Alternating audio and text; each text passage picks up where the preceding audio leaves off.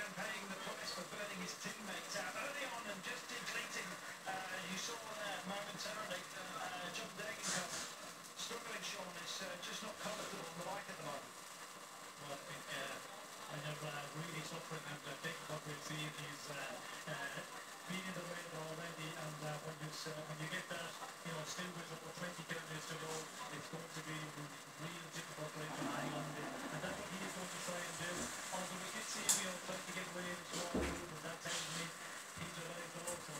sit here in this room before to have on the bathroom. There's a bit of sinking.